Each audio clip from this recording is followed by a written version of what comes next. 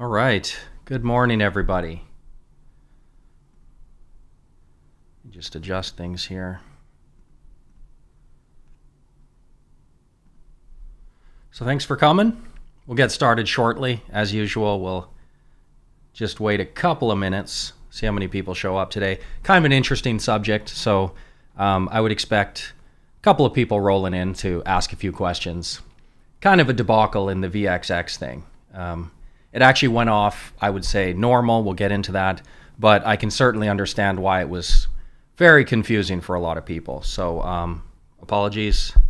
Check I'm on the right microphone. And um, I do have a new camera. So, for all you tech geeks out there, just like me, um, finally, it was on back order for months, and I finally got it. So, I've got the Sony a7S III and the Tamron 17 to 28 mil f2.8 lens. So if anybody's curious, and uh, I travel a lot, I'm always in different rooms, different size rooms. Before I was using a 24 mil, and so basically it has to be the exact same distance. I'm pretty excited about this. I can kind of switch the distances up a little bit. Maybe I can do a couple of streams outside, or we'll see how things go. But uh, hopefully everybody can see it clearly. Hopefully the settings are all right. And um, there's a few questions in the chat here.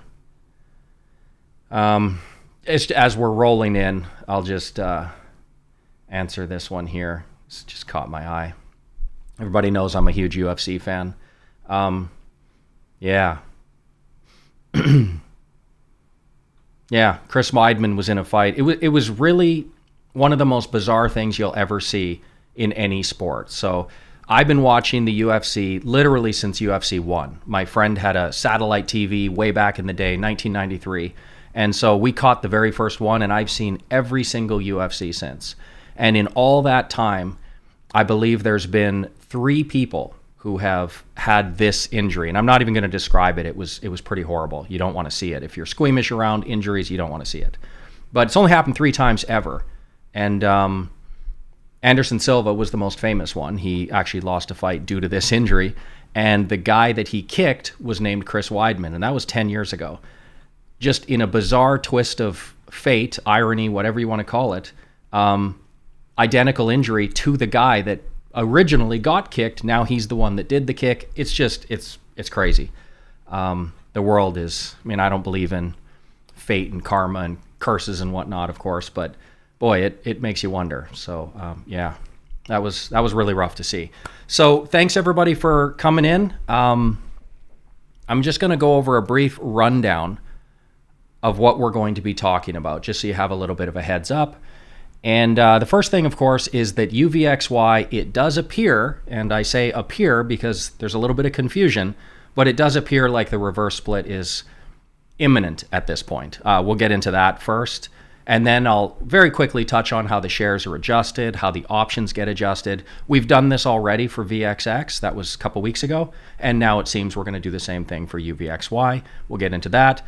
This number four is probably going to be quite interesting to people. So, what I did is we have uh, basically a VTS live stream live account that I funded. And so I can actually show people live trades and we can really go through some things. And I took screenshots before the split and after the split in the VXX in the options market. So I'm actually going to show you those screenshots, show you what it looked like, explain all the confusion around, you know, people thought that their money was stolen from them, that the, the, the option gods have taken everything from them and it's not fair. Should there be, you know, corporate lawsuits?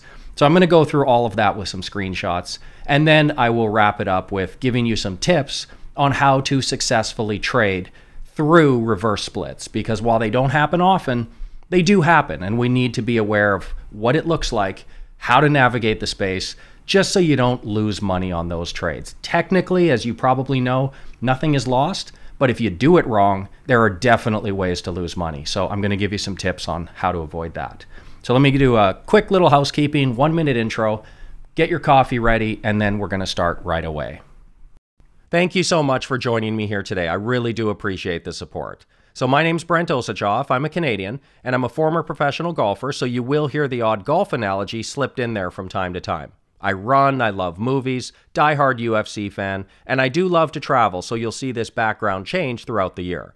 So just give me one minute here to do a little bit of housekeeping before we get started. If you do feel like you need a little more structure in your investing, I do also manage a private investing community with members from over 65 countries around the world. And it's all centered around both of our diversified portfolios. You can choose the one that best suits your personal level of risk tolerance. There's a daily email sent out every morning with a ton of very useful volatility metrics at the top, which you can learn more about each one of them and start applying them to your own trading. There's a daily article or video where I break down some of the most requested topics from members. And then, most importantly, of course, in every email, every day, I state exactly what position each of my strategies will be in, along with all the allocation sizing and risk management that goes with them. I've made it easy to follow so you can get the same consistent performance the VTS community has enjoyed for over nine years now. No obligation, but if this is something you may be interested in, go to volatilitytradingstrategies.com, click the subscribe tab, and the monthly subscription does come with a free two week trial so you can check it all out before committing. Thanks again for supporting the YouTube channel and spending a little bit of time with me here today.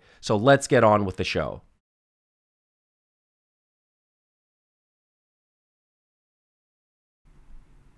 Okay, so um, just a quick reminder before we get started.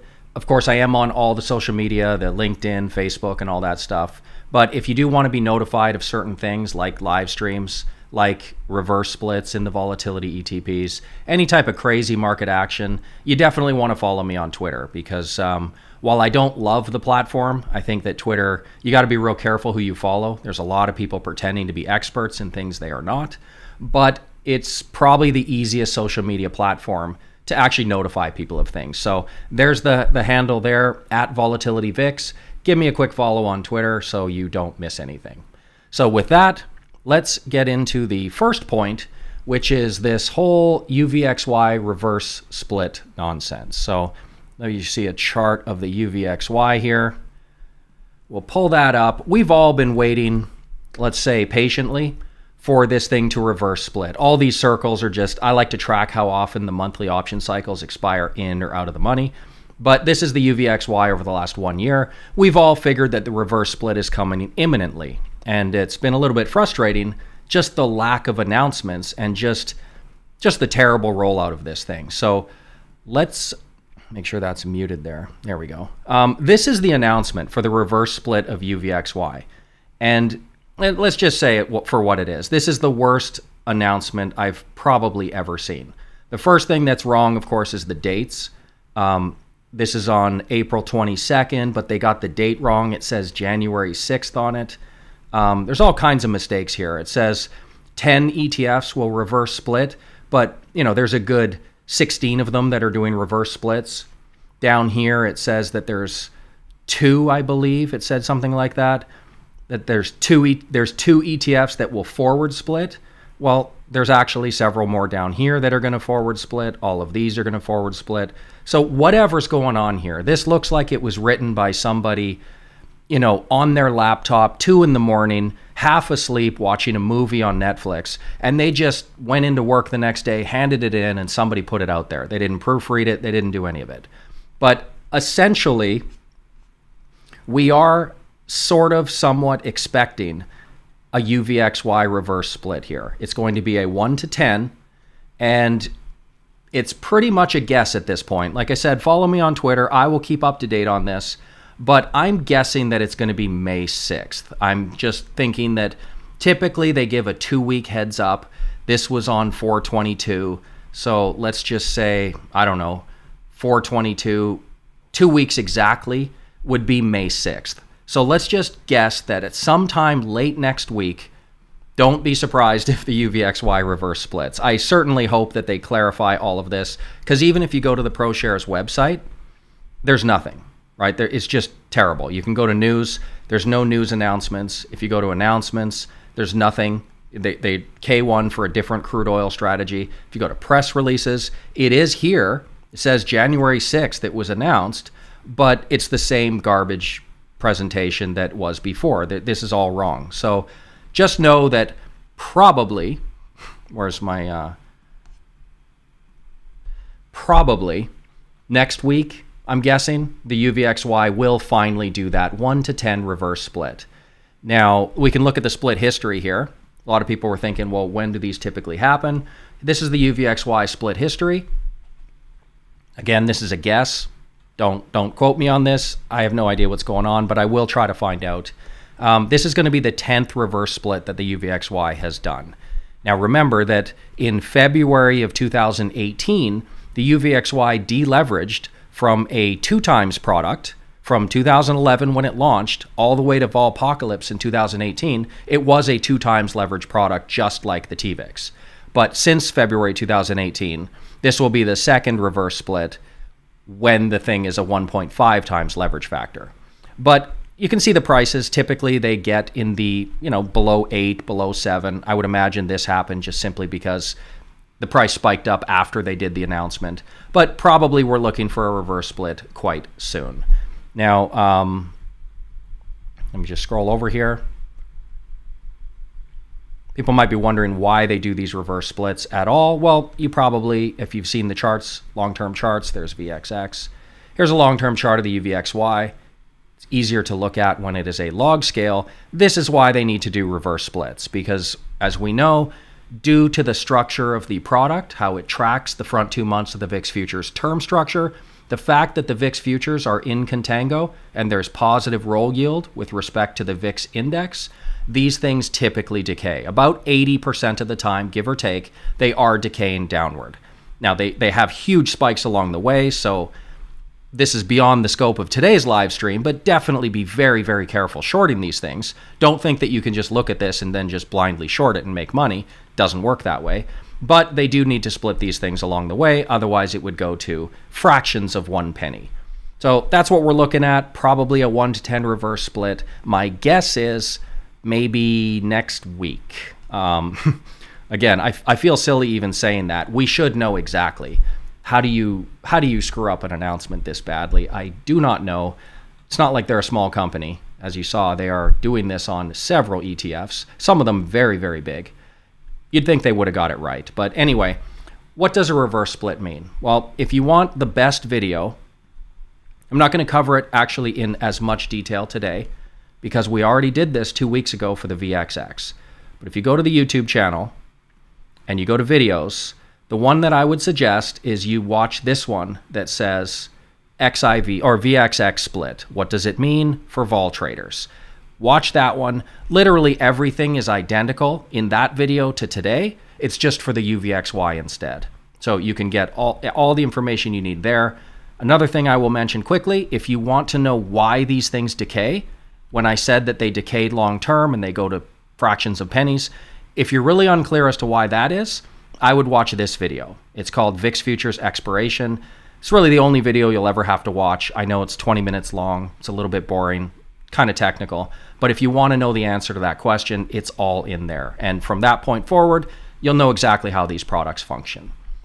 So we know what's going to happen, right? They take the UVXY price.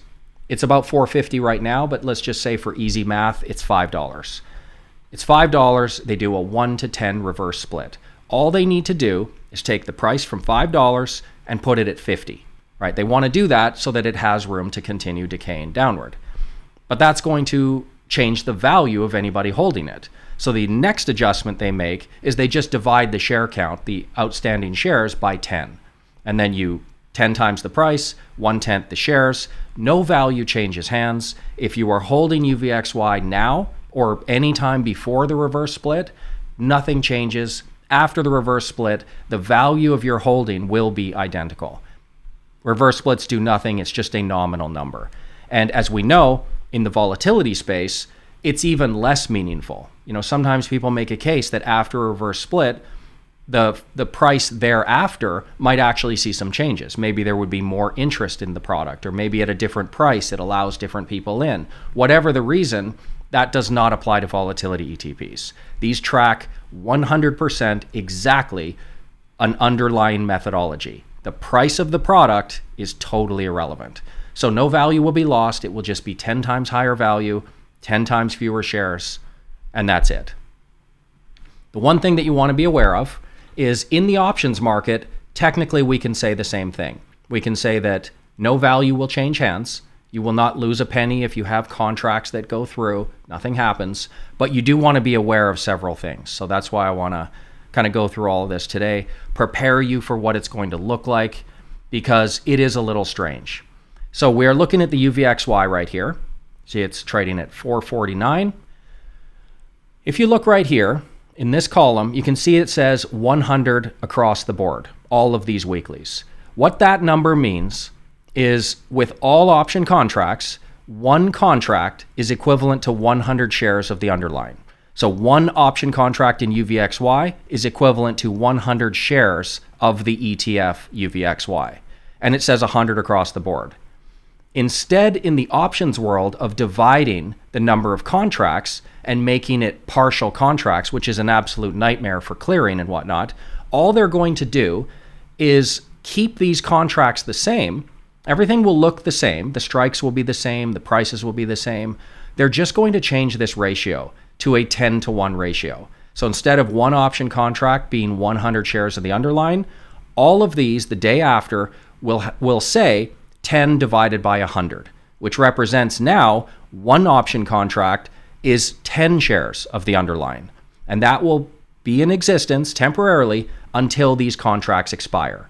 So you can keep them if you want. We'll get into why maybe you shouldn't, but you could keep them if you wanted and it's just a different exercise ratio for the time being. And then they'll just fill in the normal contracts as usual with the new price that will probably be around $45 and everything will look the same.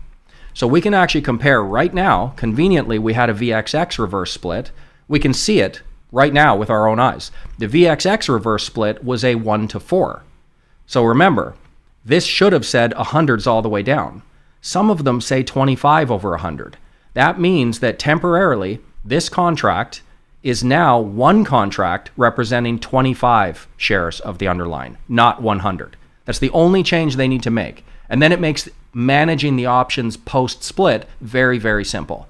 You don't have to clear partial shares, you don't have to cash settle anything. It is simply a different ratio. So, what you will see the day before the split, you will see UVXY will say 100s all the way, the day after the split, it will all of them will say 10 divided by 100, and that just means that it's now a 1 to 10 ratio. And then over the next several days, you will start to see new contracts being represented that say 100 again. You can see them here. We're already on day two of the VXX post split, right? That happened, or day three actually. That happened last Thursday night. Friday morning, it said nothing but 25 over 100. Monday morning, these hundreds showed up. This means that this is the old one for May, the 21st of May. These are all the people that hold these contracts. It's still open, it's still valid. You can keep it if you like. Again, I'll get into why you maybe don't want to. But here's the new one. It's exactly the same. It's just now the strikes are normal. They're representing the post split price. So that's all you're going to see. It's actually quite simple from the front end of the software perspective. The UVXY itself 10 times the value, one tenth the shares. The options, instead of 1 to 100, it's 1 to 10. And that's really all you need to know. Reverse splits don't do anything to your value. You're not going to lose your shares. I cannot tell you how many emails I got Friday morning. I'm going to show you right now. Point here number four. We're going to do a post mortem on that VXX reverse split. I had, I mean, not kidding, 30, 40 emails asking, did they steal my money? Is my money gone? Well, why were people thinking that? So Thursday night was the reverse split. Let's look at some of these screenshots that I took. But first of all, in order to for this account to make sense, remember this is our live stream account, and um, all you need to really know about this account, I funded it when we started our live stream, so I just wanted to be able to demonstrate some live trades. So it was funded um, October 29th and we'll go to the updated value. So essentially, this is the account. All you need to know is we'll find that night of the 22nd. This is the day of the reverse split. This account value said $199,830. So just remember that number. Basically, $200,000. Now, let me show you pre market. Let me close all these windows. Pre market, this is what it looked like. So you can see it says 6:22 a.m. Now I am in Vancouver right now, so this is Pacific time. That's essentially 9:22 New York time, 8 minutes before the markets open. So markets are going to be opening very soon. I took a screenshot. You can see the account value. It says 181491 That is way low. That is nearly $20,000 below what it was the night before. So obviously this can be alarming. And you can see what's happening if you look inside here. I actually had two contracts that I was carrying over. I have a short term 950 short put, right, for 13 cents. They're giving me a price of 0. So they basically just took that premium out and I get that 13 cents because it's a short contract. But the bigger problem is I have a long contract that's a much larger size. It's supposed to be trading at 560, but again, they're showing me 0. Did I lose $5.60? Did they steal all my money? Well, no, of course they didn't. That's the punchline, but I can understand why people thought that they would have. You woke up that morning quite alarmed that your account value is if you had long options significantly lower. If you had short options, could have been significantly higher. But let's look at actually before we show this, let's just look at this is the short contract that I have. This is the 30th of April. It expires this Friday. I had this 950. You can see that red POS for position. Everything's just showing NA0. If we do the same thing for the long contract that I have, this expires in 147 days. I have that 14 strike. Again, NA zero across the board. This is very alarming. They seemingly took my money. Here's one minute after the markets open. So this is 631, 931 New York time. Now you can see my account value is 214,813. This is nice, but it's far too much money. It should probably only be 200,000 according to the night before. And I actually have some positions that were up money, so it should probably say 201,000 but now it says 214. If we look closely, well, what has happened for the 950 put, they're actually priced, it was 13 the night before. Now they're pricing it at 32 cents. This is way, way off. The market was up a little bit, but it was essentially what we could consider flat. And then my long contract, it was 560 the night before, and they're pricing it at 677 now. Very advantageous for me as a long put holder and now I'm I have way more money than I should have. So I guess I could celebrate there. Let's keep going. This is 6:53, 23 minutes after the markets have been open. Things are starting to settle down. You can see the account value is back down reasonably close to where it should be. It's still slightly high. It's about a thousand too high, but I have advantageous positions, so it's not that far off. It should be about 202. And you can see here, these are getting closer. It was 560 the night before. They're showing me six. It should probably be 565, but it is actually getting closer just 23 minutes after the market's open. And again, we can see the market makers, while there are very wide bid ask spreads at this time, 23 minutes later, it's getting close. This is the one that I hold. 5 to 13. I would like to see it, you know, 2 cents. That would be normal, but 5 to 13 is is getting there. So they can start giving me something reasonable. And then the long strike, four to eight. This is very wide, but you can see that 20 minutes in, they're actually doing a reasonable job catching up here. Let's go to an hour and 15 minutes later. All right, this is the last one. An hour and 15 minutes after the markets opened on that day of the reverse split, everything is totally normal. The account is 202, which it should be because I'm up about 2,000 on those positions. And you can see here, my short option, 13 cents. The markets are up a little, meaning VXX is down a little. It should be about 11 or 12 cents, and it's showing 11.50. This one, the markets are up up a little, VXX is down a little. That means that I should probably make a nickel, and it did. It's showing 565. So it actually only took one hour. I understand that pre-market people were freaking out, but it actually only took one hour to get the bid ask spreads fairly normal again. 10 to 13 on a, a strike there, that's fine. It should probably be 2 cents, but 3 cents is well within normal. And here's my long strike for 147 days out. There's the 14. 550 to 580, mid price 565, totally normal. At this point, 1 hour and 14 minutes after the market's open, it's basically as if the split never happened. Now, it does take a little bit of time for them to settle through this, which I will get to a couple of tips in a second. But you can see for anything pre-market would have scared people, especially if this is your first ride holding positions through a reverse split. I can totally understand. Um, but you can see it only took them an hour. So a few tips that I can give you. And this is the last thing, and then we'll open it up to a Q&A. You can ask about this stuff, the UVXY debacle, or just any volatility questions. But uh, tip number one, if you have options that are sensitive, if you have option positions where you anticipate that you might actually need to close them the next day or within two days, then it's probably a good idea to just close them ahead of time. So the reverse split happened Thursday night. Official date was market close, indicative value on Thursday. Friday morning, if you anticipated that you had a short dated contract that might have needed management Friday, you probably shouldn't have carried it through Thursday night anyway. So that's tip number one. Any option positions that you think you might need to do something with in the first day, just close them ahead of time. Don't even deal with the bid ask spreads and the changing of the values. No value changes hands. You don't lose your money, but you might lose the ability to adjust your positions, especially in the morning. That brings us to tip number two. Don't rush in in the first hour or two and try to force any trades. Just sit on your hands. They will work it all out. I know the bid ask spread looks scary and you think, well, what's going on? I just, I, I lost my money or I effectively lost my money because you can't get the bid ask or you're, you're worried you can't get the midpoint. Don't force your trades.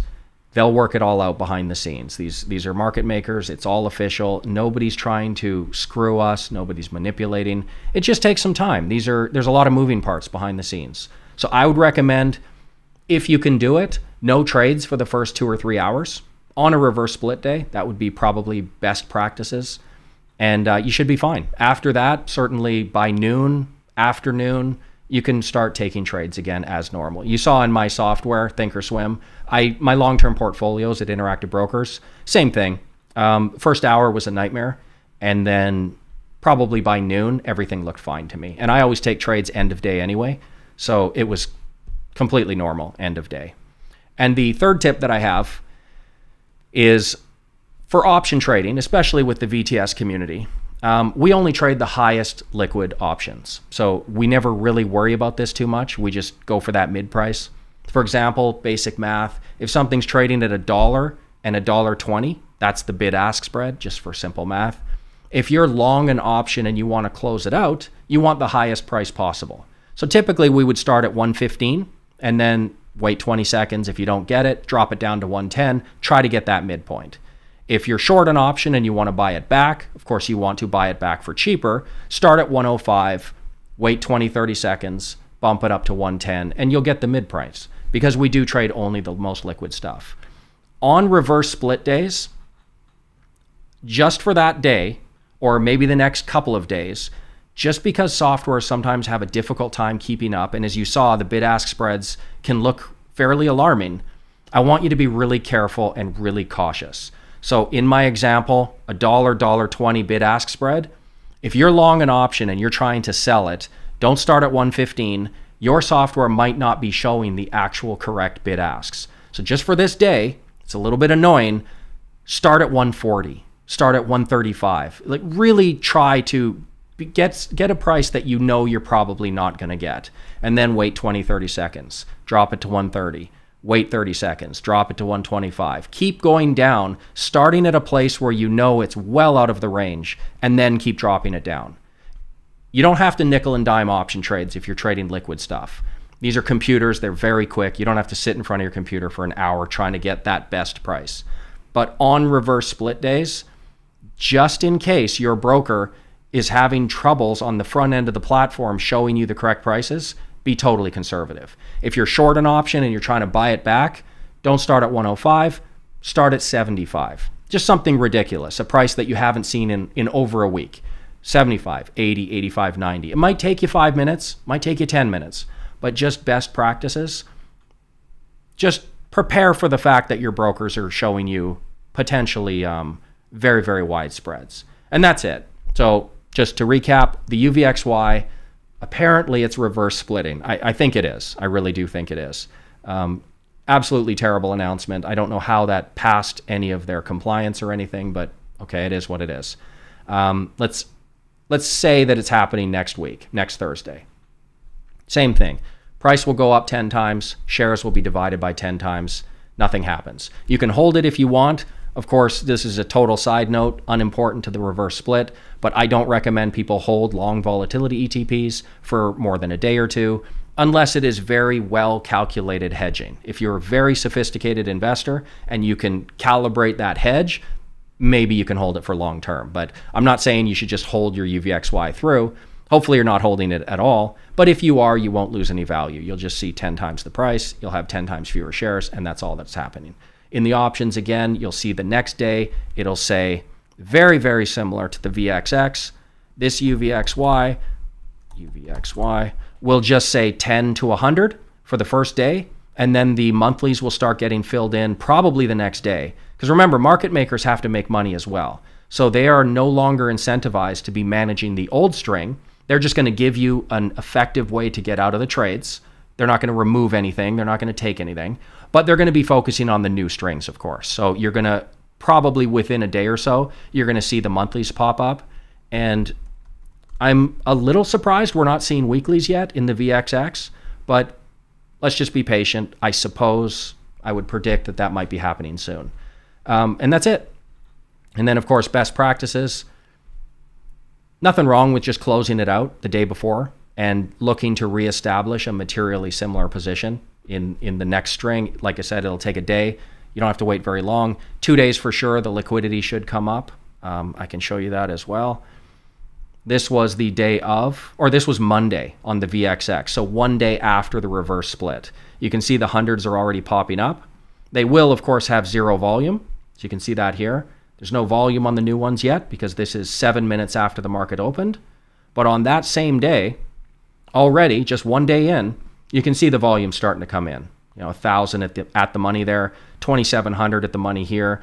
It doesn't take very long. VXX is a very, very liquid market. UVXY less so, but it's enough. So um, be patient. And um, like I said, tip number three there, just for that one day or just for two or three days, try to get prices that are well outside the realm of possible to get exercised. There's nothing wrong with taking an extra five minutes to get those trades. That's what I did. I closed, eventually, I did close both of those trades that you saw, um, both of them for profit. Not that that matters, but I was very careful in closing them out. I wanted to make sure that I get the price that I deserve. These are computers and they all get cleared at kind of the same place, so it doesn't matter what broker you use. You shouldn't really get screwed on the execution. That is your money and you should get something close to the actual mid. It's just what is it displaying? The displayed mid might actually be wrong. So just be super conservative for that one day. And you should be fine.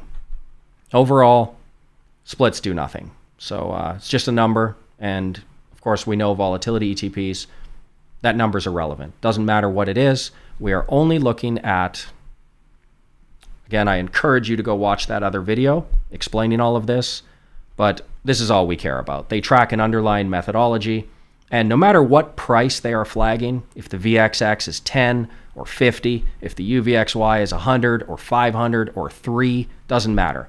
It tracks these underlying indexes and the methodology of tracking the front two months of the VIX futures as they converge down to the spot VIX at expiration.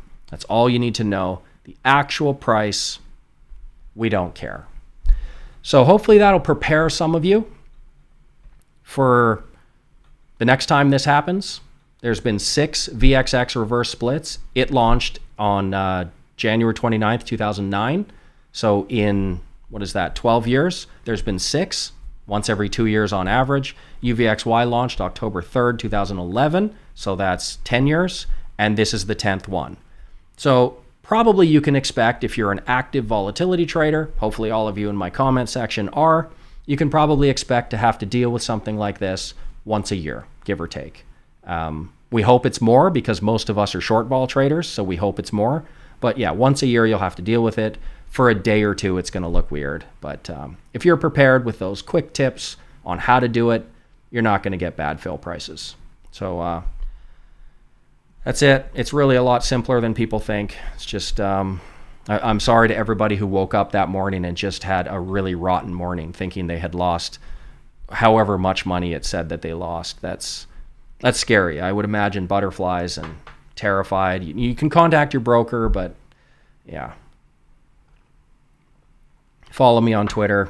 DM me if you need to. Um, I'll settle your mind. So I'll encourage you that nothing too diabolical happened. It's just uh, it's just a short term thing.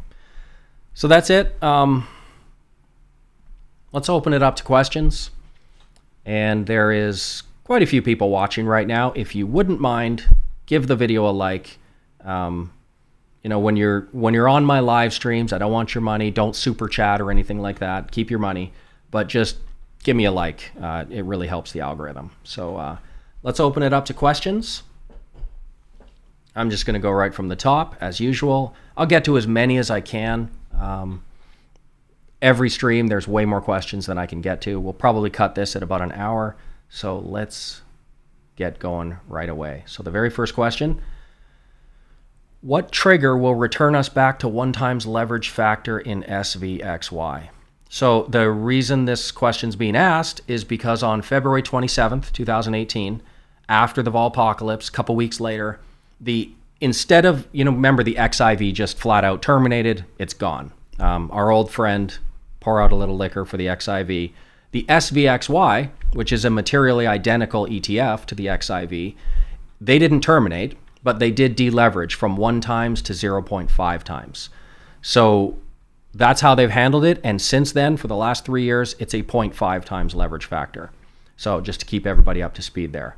Um, what would make it go back to one times leverage? Well, I suspect because the the rebalancing methodology is a little bit flawed or at the very least, it's inadequate these days. When these products launched, you know, in, in 2011, October 3rd, 2011, for the SVXY, they probably didn't anticipate that the vol ETP space would get that large, to get so large that it actually starts to put a lot of pressure on the VIX futures market. So all of these ETFs have to rebalance in the same little tiny window of aftermarket rebalancing.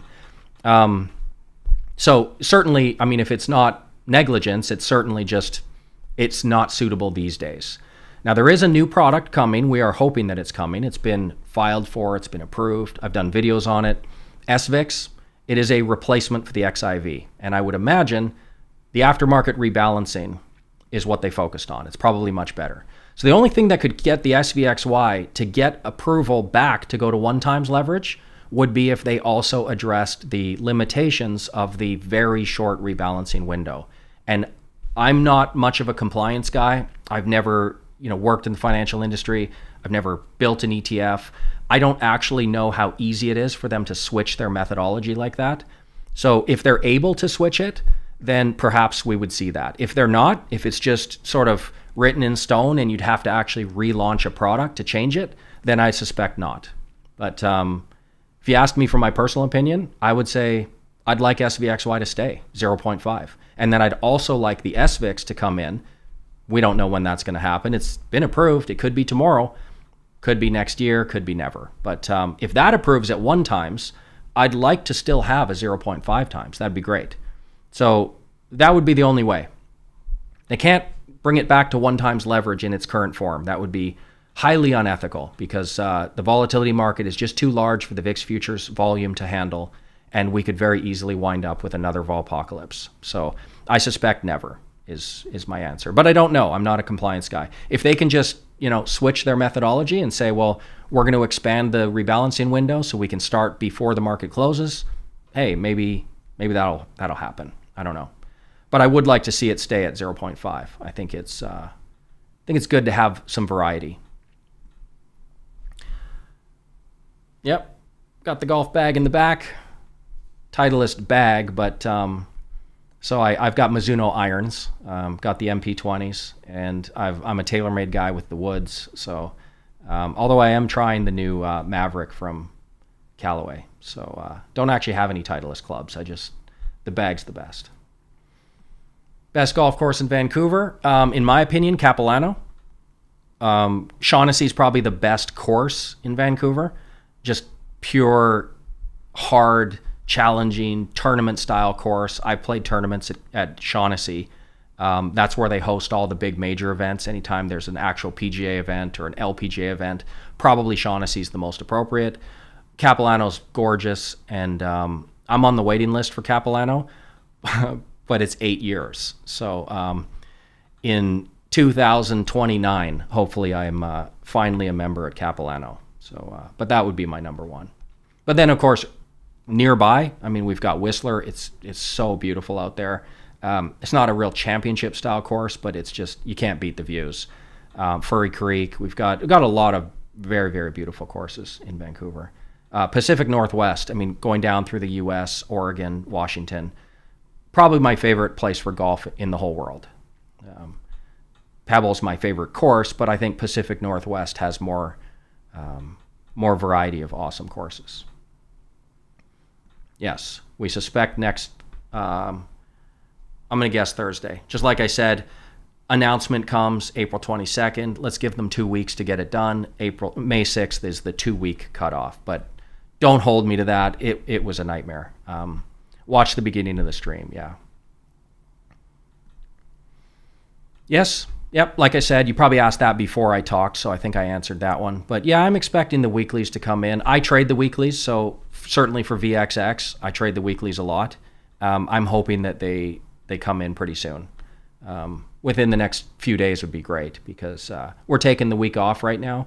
We've got the vol trend strategy at VTS that we're in cash right now, and my vol trend overlay. It's for anybody, few of you who are in the VTS community. It'll start as soon as we have weeklies as well, but there's no weeklies to trade right now. So hopefully they get those soon. QLD is a higher maximum drawdown than the ARK per what you showed in your last stream. That is true. Um, I believe the QLD has had a drawdown since the ARK launched of around 52, something like that. ARK has a drawdown of around 44. But what I didn't show in that video, my last stream, by the way, was about the ARK Innovation ETF. Um, what I didn't show was if you were to map out all 10 of the largest drawdowns and then start to calculate an ulcer performance index, I think you would see that the uh, the Nasdaq's more consistent. So um, that was more to the point of that video that the ARK is just too unpredictable. Um, it goes down when the markets are going up, and I personally can't have that. When I'm in equities, I need to know that it's going to follow equities, and it's a discretionary fund, and we we have no control over what they hold and how those holdings perform. So even though the maximum drawdown is technically higher, I suspect the ARK is substantially more volatile um, statistically. Currently bag holding 1,500 shares of UVXY with a cost basis of 7. Ouch. Sorry to hear that. Hoping that I can sell those shares at a loss once it spikes above 5. I'm not a registered advisor. I can't give you any personalized investment advice. I can only personalize it to myself.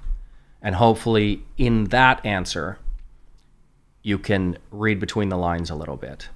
But what I would be telling myself is first of all, statistically speaking, why would I hold a long volatility ETP when I know that over 80% of the time I'm going to be wrong? That just doesn't sound like a very good bet to me.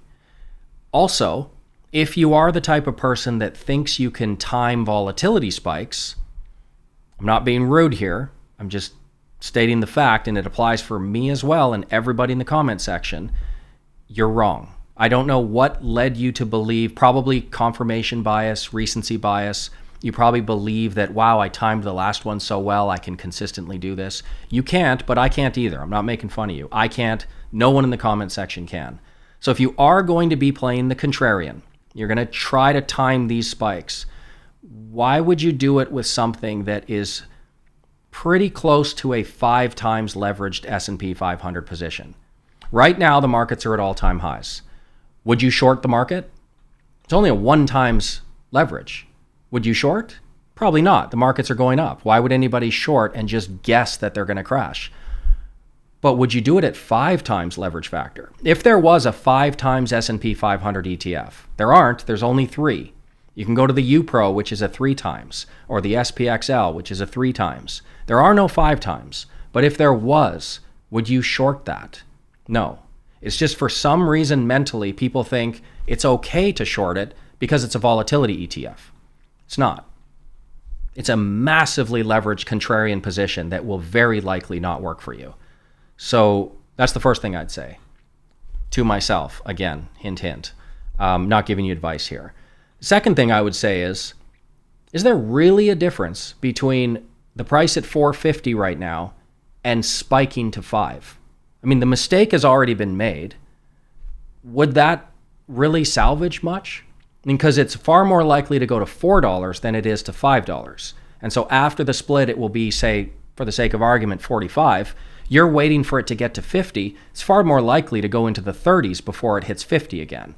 Now, I'm not saying it doesn't hit 50. It could hit 100, could hit 200, and you'll sell it and think, wow, that was the worst decision ever.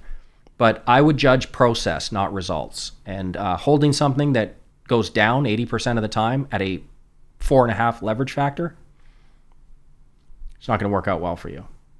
Long term, I have no idea how this trade is going to work out, but long term, that's not a consistent winning strategy. So, uh, I would uh, check out that video I said about how the VIX futures actually work, how the ETFs track the futures, and, and why they decay so fast and so consistently. Um, you, you, might learn something there. And you just come to the realization that it's just not a trade worth taking. Um, if I do miss a few of those VIX spikes, so be it. I, I would rather miss a few of the spikes than nearly always bleed capital, and that's what ends up happening. So, long volatility ETPs are insurance products. They are meant to be hedging vehicles only. They're not meant to be held long term. It explicitly states that in the pr- prospectus. If you need to see it, read the prospectus. It literally spells it out. These are not meant to be held. Um, but just learn what learn how they function, and you'll come to that realization on your own. It's a it's a bad risk reward profile. So uh, I closed all VXX options a few hours before market close. Yeah, good call. Um, honestly, the only reason I didn't, um, the short put option that I had open was part of my overlay strategy, and it's a short put option. So I don't need any management whatsoever the next few days. There's nothing that could happen in the market that would make me need to get in there and, and manage that trade. So it's fine to let that one go. Uh, the other one, same thing. I have a short light or a green light for short vol right now, and um, we've been short vol for what probably two months now. Um, quite enjoying the the drop in volatility, but um, it's a long term contract which doesn't need any maintenance until we actually have to close it. So nothing imminent for me. But again, like I said, best practices. If you have something that you anticipate the next day, you might very well have to manage that. Then do like Winston did here close it out the day before. You're only going to lose one day. It doesn't really matter. Can you open new positions on old VXX options? IB disallows. I've never tried. I don't see any reason why anybody would ever want to do that. Remember, the market makers, from their perspective, they have to make money, right? So it's their job to get people trading they're not making money sort of gaming the system. They're making money trying to get create a market so that people trade it. They're just incentivized to focus much more on the new contracts. So I'm I'm not saying the old contracts break after a reverse split. They don't, and you can actually, you know, if you want to play in that market and keep your options open, I'll uh, I'll try to trade one of these. I just there'd be zero reason to ever do that. So if they disallow it, I wouldn't know. I've never tried and never would. That would be uh, that'd be not smart. It's kind of like the old TVIX, right? Remember TVIX was delisted? You could still trade it after the fact, but the way volatility ETPs work, you actually do have to have that share creation functioning very, very actively. They have to be actively managed. So as soon as they delist the product, just because you can still technically trade it doesn't mean you should. It once the share creation is gone, the incentive to manage that product is gone, and you are just throwing money at something that is is a total crapshoot. You have no idea how it's going to function. It's kind of the same in these options. You're looking at market makers who no longer have incentive to manage them correctly. You don't know if the bid ask spread is just going to get extremely wide or whether you can even get the mid price. I would, um, like I said, just you don't need to panic sell. You don't need to you know, just dump everything. We we can be strategic with it, but you have to know that it is in your best interest to move to the ones that are still being targeted and prioritized by the market makers. This one's in a different language. So hopefully you got the answer there. I got that one. Okay, Wasabi. Opinion on shorting a put on SPY with minus 0.5 delta instead of buying a call on SPY with 0.5 delta. Well, they're entirely different trades. I'm curious about your elaboration. Well, so the thing is, when you're buying a call option on the SPY, this is more of a stock replacement style trade where you are going to be tracking pretty well. But when you're shorting options, best case scenario, you can only get the premium that you short. So if you short a put, the upside potential profit is very limited. The downside is pretty far down. I mean, of course, it can go down. Buying a call is a totally different trade than selling a put. I think what you're probably trying to ask is shorting a put spread versus buying a call spread, maybe something like that. But if you're just asking a short put versus a long call, um, these are just just put them in a different basket. They're they're just they're not related to each other. I hate it when optional product goes below 10.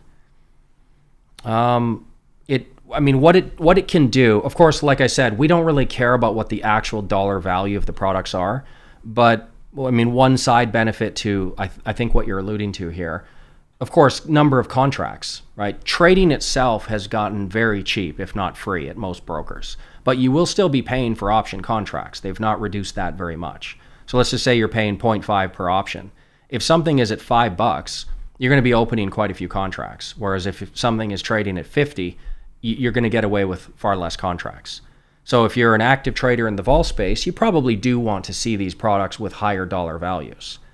The flip side to that is if you're doing stock replacement, you probably want it to be lower because let's say something is trading at $100. The difference between one contract and two contracts is quite significant. Whereas if something's trading at $10, the difference between one and two is far less. So you can open 26 contracts instead of 27. But when something's a very high dollar value and you do stock replacement, you might be choosing between opening one or two contracts, or maybe two to three. That's still a pretty big gap. So it always depends which side of the trade you're on. Sometimes a high dollar value is beneficial, and sometimes a low dollar value is beneficial.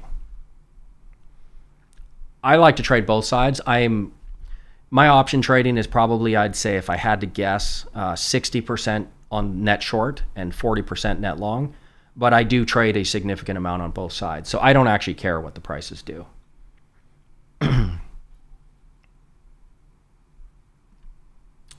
Is IB showing the end of month April 30th expiration for the new VXX? I haven't checked my IB. Um, no, I've only checked my Thinkorswim here. And no, no, they have not. So I'll check IB. That'd be interesting.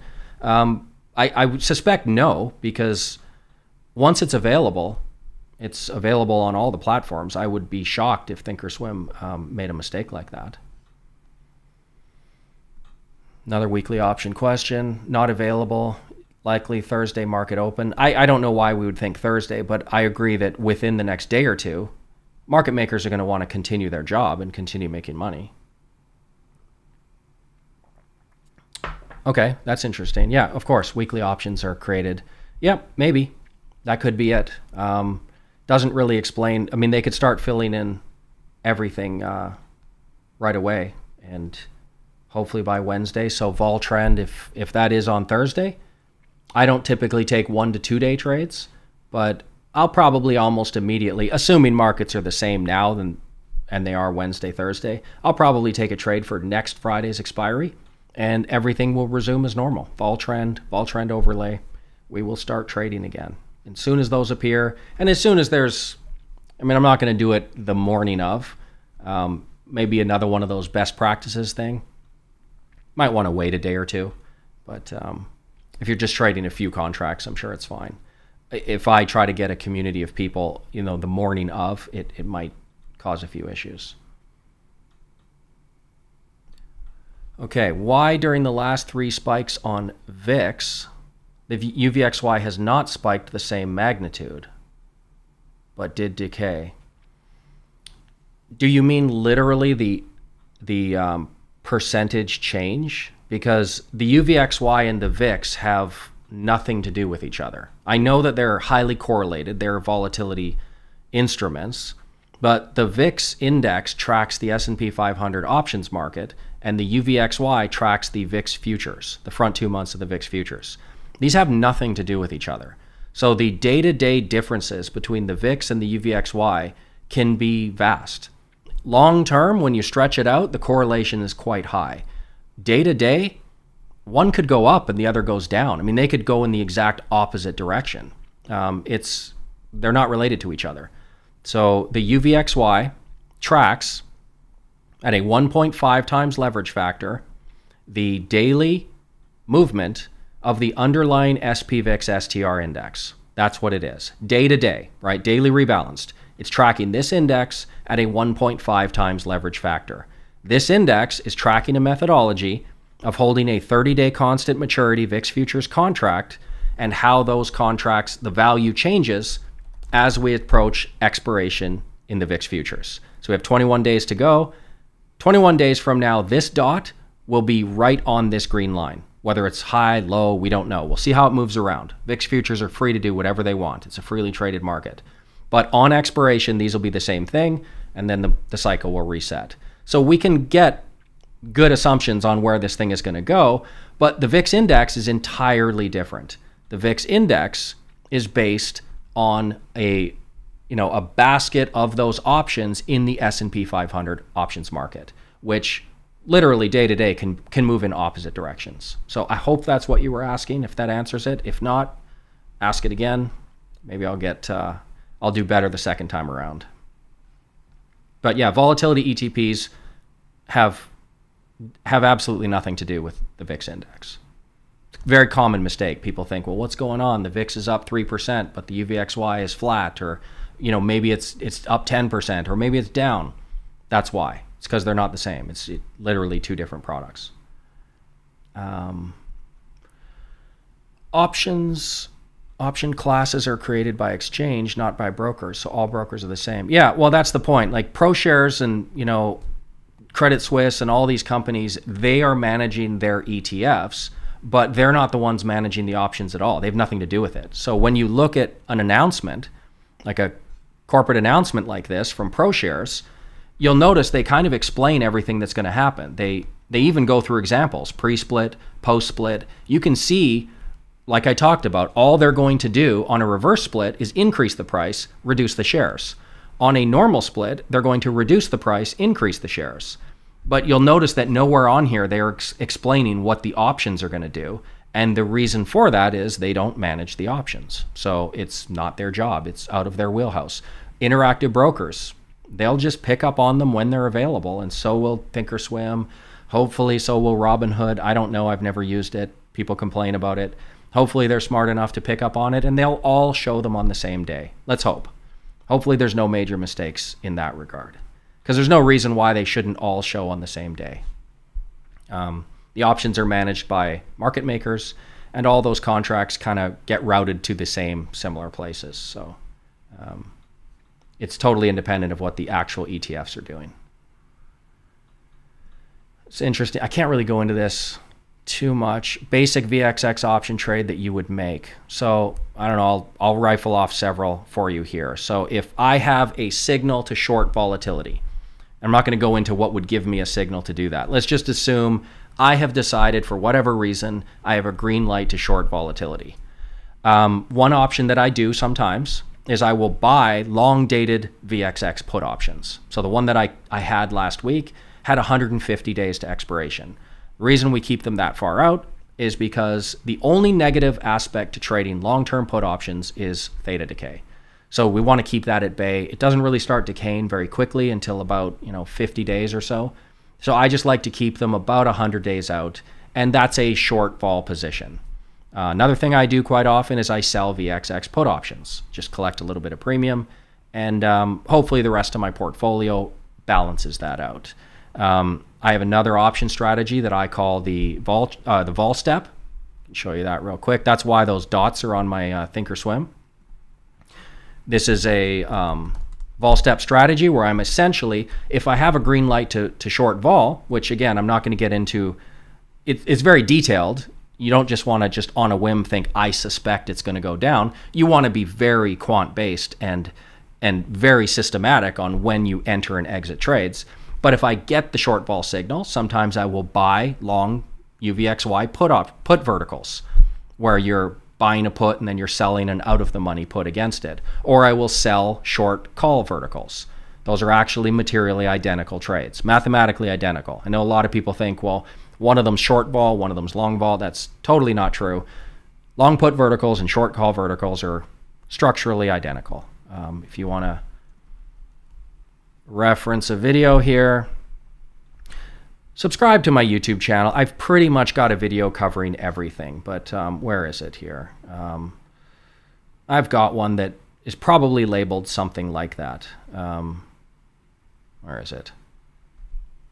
Let me just type in vertical. I don't want to waste too much time here. Mm, a lot of option trades there. Oh no. Anyway, it's something called something called short call verticals and long put verticals are identical. Sorry, I can't get the actual thing on the fly here. I'm still uh, a little bit nervous on the live streams, but those are some examples of trades that I would take. Um, typically those three, stock replacement through long-term VXX put options, short-term VXX put options, typically weekly cycles, and then vertical spreads. Oftentimes, I have another strategy that I call directional flies, which sometimes I will actually do butterflies, broken wing butterflies. I have a video on broken wing butterflies where you can get somewhat directional, but still keep that you know positive theta factor intact. So um, check out those four. I've got videos for all four of them on the YouTube channel. Where am I? Let's catch up with the chat here. Not a big fan of IB. I kind of like IB. I mean, my long-term portfolios has been at IB since 2011. Um, I in 2006 I started with Thinkorswim, or it wasn't Thinkorswim, just TD Ameritrade, and then 2011 I switched over and haven't really looked back. I, I really like IB, but Thinkorswim's very good as well. I would recommend, well, not recommend, but in my opinion, those are the best two. So uh, can't go wrong with either. IB's the ugliest software in the world. That's why I don't use it for any of my videos. It's just the worst thing you'll ever see. Thinkorswim's really nice to look at, so um, that's why I use my live stream account. Our test account is Thinkorswim. It's a awesome looking platform and intuitive and easy to use. So, okay, how long do I have? What was your career before getting into the vol space? There's my career before the vol space. I was a professional golfer for many years. Um, I, I, I very successful amateur golf career. I started when I was 15. By the time I was, you know, 22, 23, I turned pro. Played pro golf till I was 30. That was 2005. Um, for reference, I'm 45 years old. So I retired from golf at 30, and then I started investing. So uh, I've been doing this for 16 years now, investing career, sort of my second career. But for 20 years of my life, I was uh, entirely focused on golf. Um, I did go to university for you know economics and math. I have a major minor in economics and math, but yeah, I was golfing, and I don't golf much anymore. I've got the clubs back there; they kind of look cool, but trust me, they're pretty clean. They they don't get much use. Uh, I, I probably golf. I've probably played ten rounds. No no joke, ten rounds in the last seven or eight years twice a year if I'm lucky. So I, I keep saying I'm going to get back into it. I'm 45. You know, I'm, I'm in good shape. I always keep myself in good shape. I exercise, I eat right. So I'm turning senior in five years. I always kind of think in the back of my head, you know, what if I, you know, dusted off the old golf clubs and tried to uh, tried to make the senior tour at 50? Because I'm certainly in much better shape than most 50 year olds. So uh, you know, maybe there's a chance. I might might dust off off those sticks and give it another shot. But uh, yeah, I haven't golfed in 15 years. Totally switched careers, but I actually view them as the same career. I, I keep intending to do a video on that, just the the similarities between if you want to call it a sport or not, or me a professional athlete or not. I am not offended if you don't, but the similarities between being a pro athlete and being an investor, it, it's actually there's a surprising amount of overlap. So it, it probably sounds jarring, but same skill set. Um, investors, former professional athletes do tend to be pretty good investors, pretty good entrepreneurs because the skill sets are the same. You know, just discipline, sacrifice, hard work, self motivation. All of these things transfer over to anything that you'll do in life. So, sounds like wow, golf and investing it's just polar opposites. It's really not. It's I, I felt very well prepared for an investing career after golf. Okay, what time is it? I always go over the hour. Notice the new SVIX product isn't going to come out until the new all time highs instead of bear market low. Um, so, I mean, remember the, the price of the product is irrelevant. So if you mean that you want to get into it and just kind of hold it, buy and hold, yeah, I could see a point where you would maybe rather rather do that. I mean, if they were just custom designing something and they wanted to produce the best possible track record as soon as possible, you'd probably want to jump into the market at a low, right? When the markets are crashing. Launch the product then, and then when the markets bounce in this buy the dip Fed induced market, they will bounce, probably strong. Um, that would look very good for the SVIX. You'd get that, you know, massive initial vol crush. It would look awesome. But I don't think there's any, you know, there, there's no puppet master behind the scenes. I'm sure they're just going to launch it when it launches, and uh, it is what it is. Because the, the price is irrelevant to us. We still have to manage our entries and exits. And remember, we can make just as much money on the long vol side as we can on the short vol side. So I personally don't care. I just want this thing to launch. I have no interest at all in the TVIX revival. Remember, there's actually two the SVIX, which is a one times inverse, and then the UVIX, I think those are the names of them, um, which is supposed to be a two times long, just a, a new TVIX. No interest whatsoever in that one. It, it could, you know, could die forever and I would not care. But I do want to see the SVIX. How much more can I do? Like I said, there's way more questions than I will ever get to. So follow me on Twitter. We do streams all the time. If you missed it today, just get me next time. Like I, I'm just going through the list. Literally ask me anything. I, I don't skip anything. I don't, you know, I give you an answer no matter what. So um, come back next time for sure. I'll think up a new topic here and uh, we'll maybe try for one, maybe Saturday, maybe next Monday or something. But um, follow me on Twitter for sure. Sorry, I missed the beginning. Have you ever considered an alternative strategy for short vol using stocks instead of ETFs? Well, it doesn't work the same way because um, one of the one of the awesome benefits to actually directly trading volatility ETPs is the ability for us to be systematic in our entries and exits based on the methodology. We are essentially exploiting our knowledge. Whenever you're trading, you need an edge. Our edge in the volatility space comes from understanding how the product works and knowing that even if stocks stay flat, volatility ETPs can still make money. If you are trying to do a stock strategy using volatility signals, it does not work. I've actually done a video on that. Um, what did I call it? I've certainly done an article on that. Essentially, what I was showing is if you just try to stuff in a long equity position every time my signals say to short vol, like our short vol strategies have made a ton of profit in the last eight years. If I just stuff an equities position in place of them, the whole thing falls apart. It, it doesn't work at all. It, it barely outperforms the index. And um, the reason for that is that it's not it's no longer capitalizing on the the, the basically the one two punch of a when markets go up volatility drops and that's good for short vol but b Remember, markets can correct in two ways. They can correct with price, it can crash, or they can correct with time. It can just chop around sideways. If you get chop around sideways for a month, that equity position's not making any money. But the short vol guy can still make money doing that. We don't care about chop. That's still fine. As long as the markets are flat, we're still going to have positive roll yield in the VIX futures curve. And there's no reason why we can't pick up more profit. But the whole thing kind of breaks down when you turn it into a binary up down. And so, no, I don't do that. I have plenty of equity strategies um, tactical balance, defensive rotation, VB threshold. All three of those strategies do use equity positions, but equity for equity, short vol for short vol. Let's um, compartmentalize things and, and really exploit the edge. That's, that's what I do anyway. I haven't found any success trying to substitute equities for short vol. Short vol is a, a, sort of a, an asset class of its own, and it should be treated that way.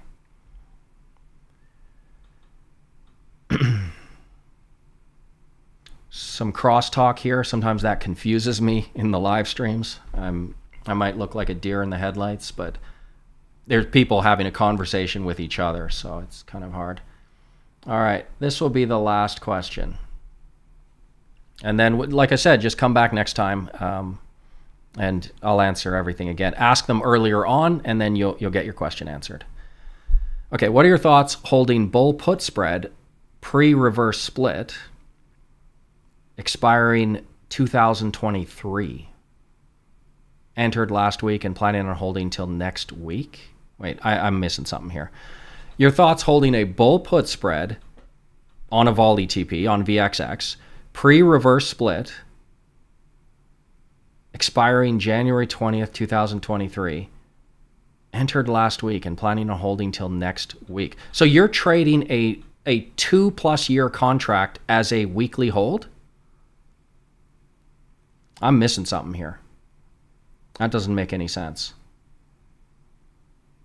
Probably I'm misinterpreting. Sometimes on a live stream, it's one of those things where you're I feel nervous and I read the question and believe me, I speak English, so I I should understand what you're saying, but sometimes you just stare at it and you just for the life of you can't just figure it out. And then I'll watch the rebroadcast and I'll think, oh, of course, that's what he was asking.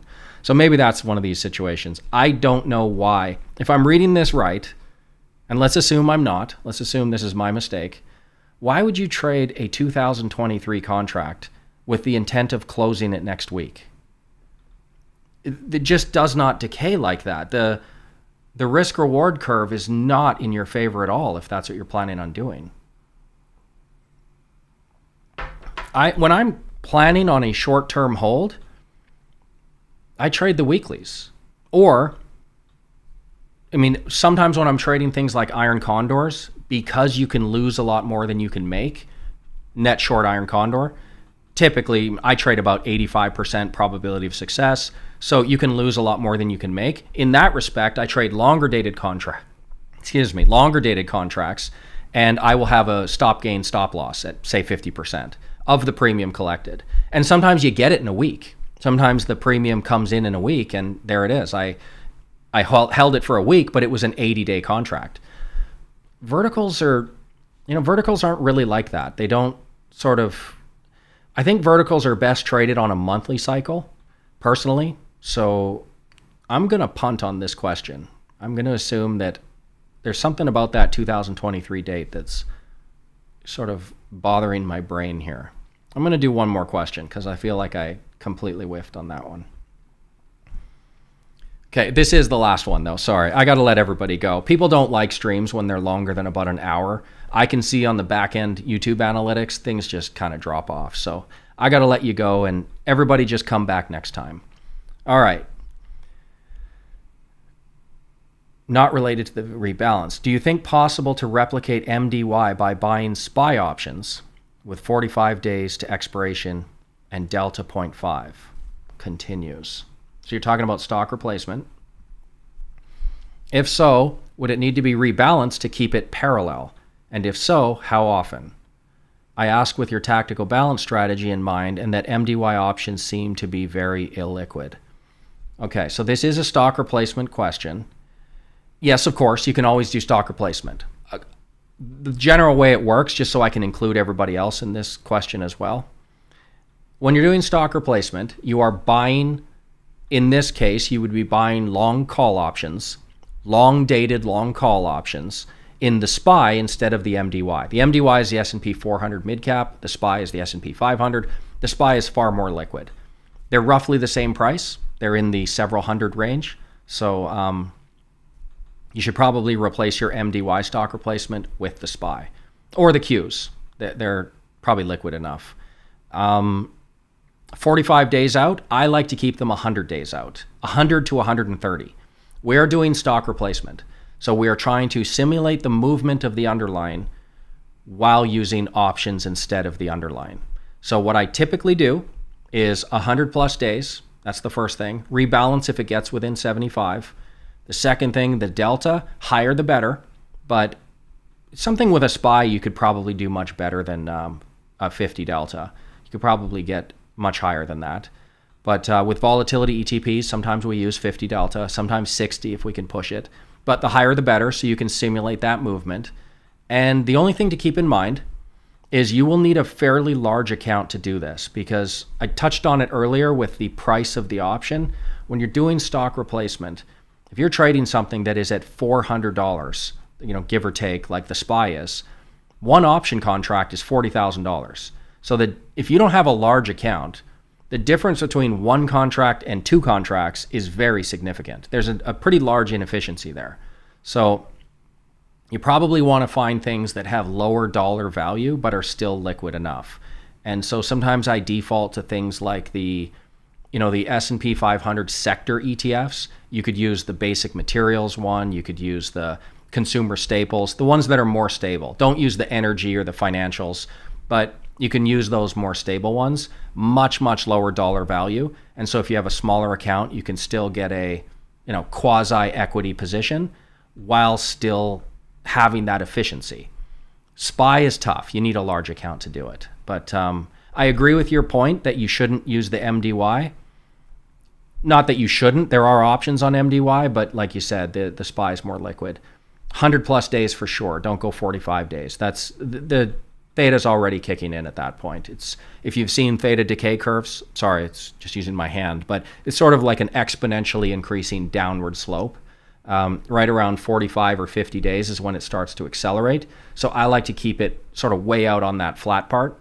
Um, that's my style.